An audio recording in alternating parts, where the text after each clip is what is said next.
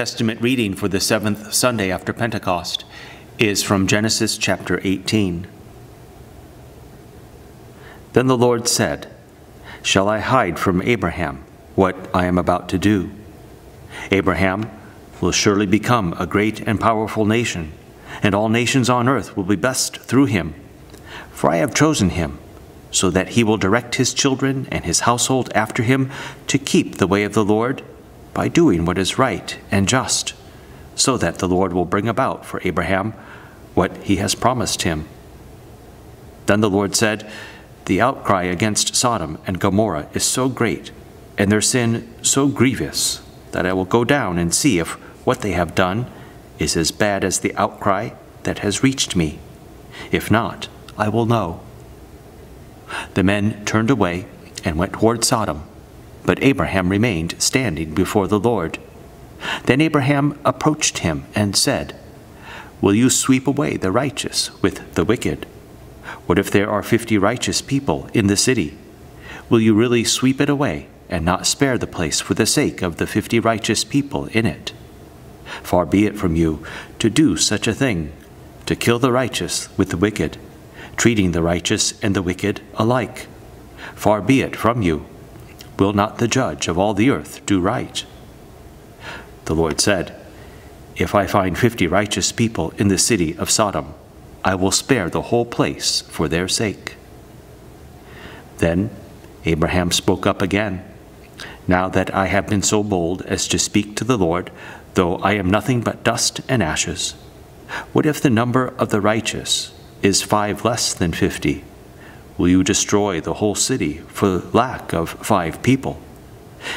If I find forty five there, he said, I will not destroy it. Once again, he spoke to him. What if only forty are found there? He said, For the sake of forty, I will not do it. Then he said, May the Lord not be angry, but let me speak. What if only thirty can be found there? He answered, I will not do it if I find thirty there. Abraham said, Now that I have been so bold, as to speak to the Lord. What if only twenty can be found there? He said, For the sake of twenty, I will not destroy it. Then he said, May the Lord not be angry, but let me speak just once more. What if only ten can be found there? He answered, For the sake of ten, I will not destroy it. When the Lord had finished speaking with Abraham, he left, and Abraham returned home. This is the word of the Lord. The epistle reading is from Colossians chapter 2. So then, just as you received Christ Jesus as Lord, continue to live your lives in Him, rooted and built up in Him, strengthened in the faith as you were taught, and overflowing with thankfulness. See to it that no one takes you captive through hollow and deceptive philosophy, which depends on human tradition and the elemental spiritual forces of this world rather than on Christ. For in Christ, all the fullness of the deity lives in bodily form, and in Christ you have been brought to fullness. He is the head over every power and authority. In him you were also circumcised with a circumcision not performed by human hands. Your whole self, ruled by the flesh, was put off when you were circumcised by Christ, having been buried with him in baptism, in which you were also raised with him through your faith in the working of God who raised him from the dead. When you were dead in your sins and in the uncircumcision of your flesh, God made you alive with Christ. He forgave us all our sins, having canceled the charge of our legal indebtedness, which stood against us and condemned us. He has taken it away, nailing it to the cross. And having disarmed the powers and authorities, he made a public spectacle of them, triumphing, triumphing over them by the cross. Therefore, do not let anyone judge you by what you eat or drink, or with regard to a religious festival, a new moon celebration, or a Sabbath day.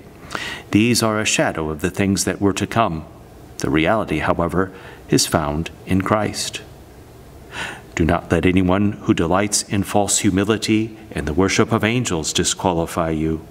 Such a person also goes into great detail about what they have seen. They are puffed up with idle notions by their unspiritual mind. They have lost connection with the head, from whom the whole body, supported and held together by its ligaments and sinews, grows as God causes it to grow. This is the word of the Lord. And the gospel reading is from Luke chapter 11.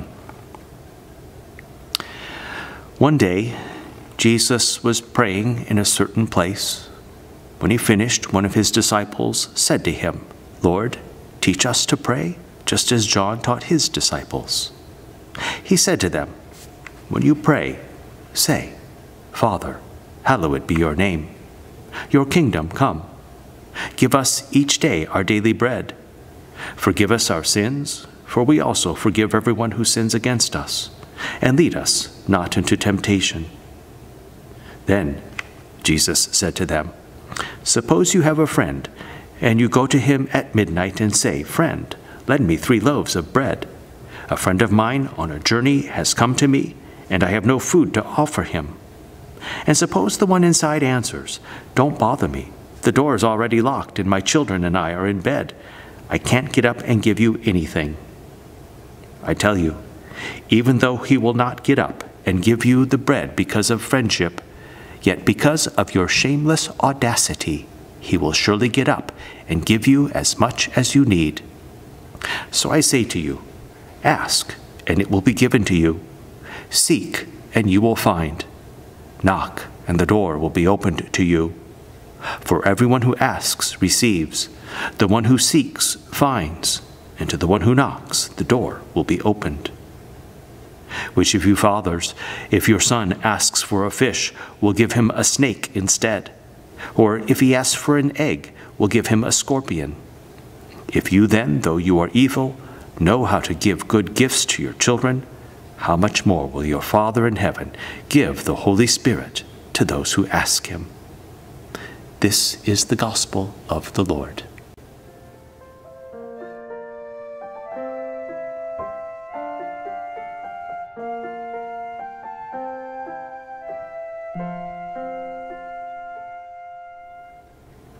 Grace, mercy, and peace to you from God our Father and from our Lord and Savior Jesus Christ. Amen. God always makes good and wise decisions. The majestic and awe inspiring universe He created to be our home is an example of that, that He always makes good and wise decisions.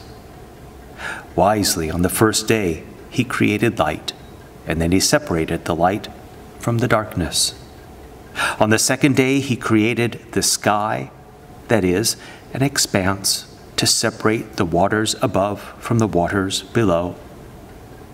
God continued on with his awe inspiring work of creation until the sixth day, when he concluded that all he had made was very good. With the heavens and the earth now completed in all their vast array, on the seventh day God rested. Why six days of creation instead of doing it all at once? Or why not five days of creation, or 10, or 20? Answers may vary to questions like this, but Christians wouldn't want to say anything which conflicts with the truth that God always makes good and wise decisions. The majestic and awe inspiring universe He created to be our home is an example of that. And God was right to put the tree of the knowledge of good and evil in the middle of the Garden of Eden. We can trust his wisdom in that. He was right not to intervene when Adam and Eve disobeyed and ate the forbidden fruit. We can trust the goodness of God and the wisdom of God. God always makes good and wise decisions. Though Moses was at first unconvinced. God was right to choose him to lead his people, uh, Israel, out of bondage in Egypt. Though the Old Testament prophet Habakkuk was at first unconvinced, God was right to raise up the Babylonians and use them to rebuke and admonish his Old Testament people. God always makes good and wise decisions. God always makes good and wise decisions when it comes to answering the prayers of the faithful. If the faith filled farmer boldly prays for an abundance of rain, while at the same time the faith filled construction worker persistently prays for sunshine, God will know what to do. He will know how to answer. God always makes good and wise decisions when it comes to answering the prayers of the faithful. In our Old Testament lesson for today, God has made a good and wise decision. God sees that the outcry against Sodom and Gomorrah is great and their sin grievous. In his wisdom and goodness and righteousness, God has concluded that these cities must soon be destroyed on account of their great sin. And God chose to let Abraham know about his plans for Sodom and Gomorrah. And Abraham, standing before the Lord, responded with a series of bold and persistent questions for God. Will you sweep away the righteous with the wicked? He asked. What if there are fifty righteous people in this city? Will you not spare the place for the sake of the fifty? Abraham asked, Will not the judge of all the earth do what is right? Though perhaps Abraham was at first unconvinced, after a series of bold and persistent questions for God, Abraham left that place believing that the judge of all the earth would do what was right. God always makes good and wise decisions. In our gospel lesson for today, at their request, Jesus is teaching his disciples how to pray. And he encourages them to pray with shameless audacity, he says. That is, with boldness and persistence. Ask and it will be given to you. Seek and you will find. Knock and the door will be opened to you. And Jesus also encourages his disciples to pray, trusting that his answers to their prayers, the answers to their prayers that God gives, will always. Jesus also encourages them to pray, trusting that in his answer to their prayers, God will always make good and wise decisions. Pray, Jesus teaches them, trusting that your Father in heaven knows how to give good gifts to his children. If you ask for a fish, he will not give you a snake. If you ask for an egg, he will not give you a scorpion. Even when his answer to your prayer is no, God always makes good and wise decisions. Pray, convinced that the judge of all the earth will do what is right. And Jesus teaches us to pray in the same way that he taught his apostles, with boldness and persistence certain that the judge of all the earth will do what is right. Pray, trusting God's goodness and wisdom. But trusting God can be hard to do when our prayers are seemingly answered with silence. Trusting God can be hard to do when we pray for one thing and his answer is the opposite, like when we ask for healing for a loved one, but then their condition grows worse. We may be tempted at times to feel like we're being treated unfairly by God, when despite our prayers we see the wicked prosper and the righteous suffer. We may be tempted to feel anger or despair or hopelessness. We may be tempted to doubt that God hears us, or tempted to think that He's forgotten about us, or to think that He's distracted with other more important people or events. But Jesus teaches us to trust that God always makes good and wise decisions. He teaches us to pray the same way he taught his apostles to pray, with boldness and persistence, certain that the judge of all the earth will do what is right. Pray, trusting God's goodness and wisdom. That's how Jesus himself prayed, with boldness and persistence, certain that the judge of all the earth would do what is right he prayed trusting his heavenly Father's goodness and wisdom, sometimes even praying to him with shameless audacity. For example, when Jesus prayed in the Garden of Gethsemane, that may be an example of him praying with shameless audacity. Jesus knows that he was sent to be the Lamb of God who takes away the sin of the world. Yet he boldly prays for this cup of suffering to be taken away from him. He prays the same thing more than once that night, that is, persistently. He tries to recruit his friends to pray with him. In Gethsemane, the sinless Lamb of God without spot or blemish or stain prays with shameless audacity. Jesus prayed that the cup of suffering would be taken away from him, and he makes the good and wise decision to accept his Father's answer when that answer is no. He chooses to obey his Father's will and to fulfill his mission of redemption for us. Jesus lovingly lays down his life for his church. Colossians reads that in Christ Jesus, all the fullness of the deity lives in bodily form. Yet he does not let this equality with the Father become a thing to be used to his own advantage. Instead, he dies to take away our guilt for all the times we've doubted God's goodness and wisdom, for all the times we've doubted that the judge of all the earth would most certainly do what is right for his church.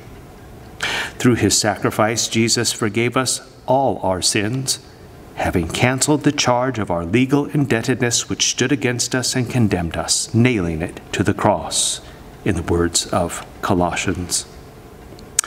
You have been reconciled to God through the blood of the Savior, and he invites you to keep praying with boldness and persistence. You will be heard and answered by the one who always makes good and wise decisions for his church. And one day soon, on a day chosen by the Father's goodness and wisdom, the resurrected Jesus will return in glory. You will rise from the dead on that day, like he was raised from the dead on Easter. Jesus will renew and restore every part of God's broken creation as it says in Romans 8, setting it free from its bondage to sin and decay.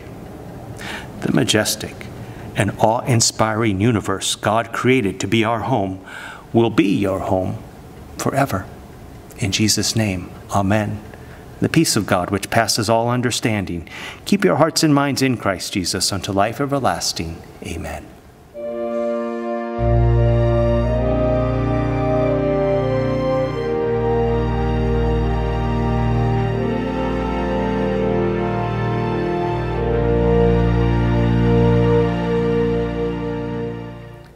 Us pray. Heavenly Father, make us ever eager to draw near to you in prayer and thanksgiving, as your Son has taught us to do. Make us bold to pray that your name would be hallowed among us and your kingdom flourish in this place. Grant us trusting hearts that confidently and prayerfully turn to you with all our joys and sorrows. Lord, in your mercy, hear our prayer Lord of wisdom and truth, hear our prayers for those who have been taken captive through the world's hollow and deceptive philosophies, and who therefore still remain apart from your church.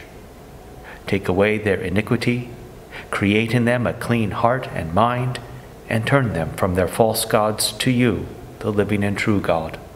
Gather them into your holy church to the glory of your name.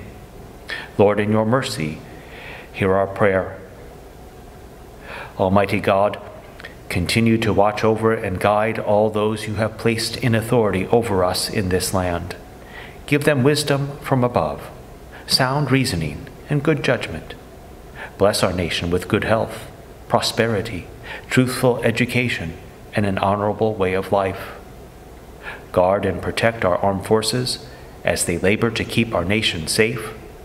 Shield from all harm police officers, firefighters, emergency medical personnel, disaster relief workers, and all those whose selfless service aids and comforts us in every earthly need. give peace to the nations of the world, and set every land free from war, terror, and violence. Lord, in your mercy, hear our prayer.